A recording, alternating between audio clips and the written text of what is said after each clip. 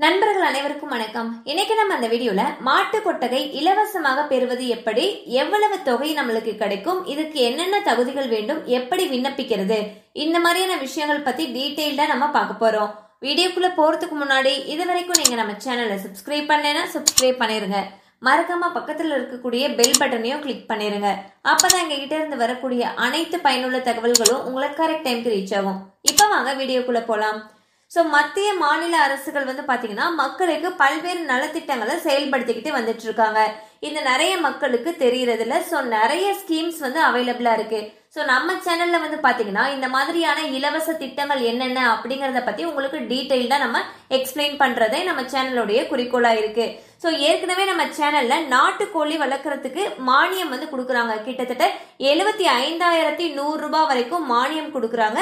இதை பத்தி ஏற்கனவே டீட்டெயில்டா ஒரு வீடியோ வந்து போட்டிருக்கோம். எப்படி வந்து நம்ம அப்ளை பண்றது என்னென்ன தகுதிகள் வேணும் அப்படின்ற டீட்டெயில்ஸ் எல்லாமே அதில் கவர் பண்ணியிருக்கோம். ஸோ உங்களுக்கு நாட்டுக்கோழி வளர்க்கணும் அப்படின்ற ஒரு ஐடியா இருக்கு அப்படின்னா உங்களுக்கு தேவைப்பட்டுச்சுன்னா நீங்க அந்த வீடியோவை பார்த்து ரெஃபர் பண்ணிக்கோங்க. அந்த வீடியோடைய லிங்க் வந்து இந்த வீடியோடைய டிஸ்கிரிப்ஷன்ல இருக்கு. ஸோ நீங்க வேணும்னா இதை போய் பார்த்துக்கலாம். ஸோ இன்னைக்கு நம்ம அந்த வீடியோவில் மாட்டு கொட்டகை இலவசமாக பெறுறது எப்படி அப்படின்றத பற்றி தான் பார்க்க போகிறோம் ஸோ இந்த திட்டத்துடைய பெயர் வந்து பார்த்தீங்கன்னா மகாத்மா காந்தி தேசிய ஊரக வேலை உறுதி திட்டம் கால்நடை பராமரிப்பு துறையுடனான ஒருங்கிணைப்பு. ஸோ இதுதான் இந்த திட்டம். நீங்கள் வந்து கிராமங்களில் கேள்விப்பட்டிருப்பீங்க நூறு நாள் வேலைன்னு சொல்லுவாங்க இல்லையா? ஸோ அந்த திட்டத்துடைய ஒரு ஒருங்கிணைந்து செயல்படக்கூடிய ஒரு திட்டம் தான் இந்த திட்டம். இதில் வந்து மெயினாக வந்து பார்த்தீங்கன்னா கால்நடைகளுக்கு அவங்க என்னென்ன உதவிகள் செய்ய முடியுமோ அது எல்லாமே வந்து இந்த திட்டத்தின் மூலமா செஞ்சுக்கிட்டு வந்துகிட்டு இருக்காங்க. இதுக்கு அப்ளை பண்றதுக்கு நம்மளுக்கு என்னென்ன தகுதிகள் இருக்கணும் அப்படின்னு சொல்லி பாத்தீங்கன்னா நம்ம கிட்ட மாடு வந்து ஏற்கனவே நம்ம மாடு வளர்ப்பவராக இருக்க வேண்டும். குறைஞ்சது ரெண்டு மாடுகளாவது நம்ம கிட்ட வளர்த்துக்கிட்டு இருக்கணும் அப்படின்னு சொல்லி சொல்றாங்க. இரண்டு மாடு நம்ம வளர்க்குறோம் அப்படின்னா எழுபத்தி ஒன்பதாயிரம் ரூபாய் மதிப்புள்ள மாட்டு கொட்டகை அமைச்சு தராங்க. அதுவே நீங்க பத்து மாடுகள் வளர்க்குறீங்கன்னா ரெண்டு லட்சத்தி பதினஞ்சாயிரம் ரூபாய் மதிப்புள்ள மாட்டு கொட்டகை அமைச்சு தராங்க. ஸோ உங்ககிட்ட எத்தனை மாடுகள் இருக்கோ அதை பேஸ் பண்ணி நீங்கள் வந்து மானியத்துக்கு அப்ளை பண்ணலாம். ஸோ கொட்டகை அமைக்கிறதுக்கு கண்டிப்பாக சொந்த இடம் தான் வேணும் அப்படின்னு சொல்லி சொல்லியிருக்காங்க. இதுதான் பேசிக் ரெக்குயர்மெண்ட்டு இப்போ என்னென்ன டாக்குமெண்ட்ஸ் தேவை அப்படின்றத நம்ம பார்த்துடலாம். ஸோ நம்ம ஃபஸ்ட்டு ரெடி பண்ண வேண்டியது பட்டா. பட்டா வந்து பார்த்தீங்கன்னா சொந்த இடத்துக்கான பட்டாவாக இருக்கணும். அண்டு தனி பட்டாவாக இருக்கணும். கூட்டு பட்டாவாலாம் இருக்கக்கூடாதுன்னு சொல்லி சொல்லியிருக்காங்க.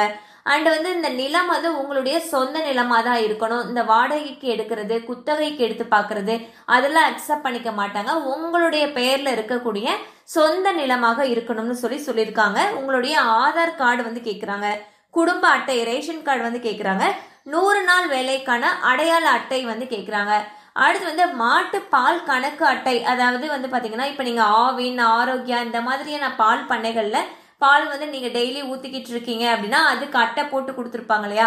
ஸோ அந்த மாதிரியான அட்டை வந்து ஒன்று கேட்குறாங்க இப்போ நம்ம எப்படி விண்ணப்பிக்கிறது அப்படின்றத பார்க்கலாம் இந்த திட்டத்திற்கான விண்ணப்பம் வந்து பார்த்தீங்கன்னா உங்க வீட்டுக்கு பக்கத்தில் இருக்கக்கூடிய அல்லது உங்கள் ஊரில் இருக்கக்கூடிய கால்நடைத்துறை மருந்தகத்தில் போயிட்டு வாங்கிக்கலாம் அப்படின்னு சொல்லி சொல்லியிருக்காங்க. அல்லது கால்நடைத்துறை மருத்துவர்கிட்டையும் நம்ம வந்து இந்த ஃபார்மை வாங்கிக்கலாம்னு சொல்லி சொல்லியிருக்காங்க.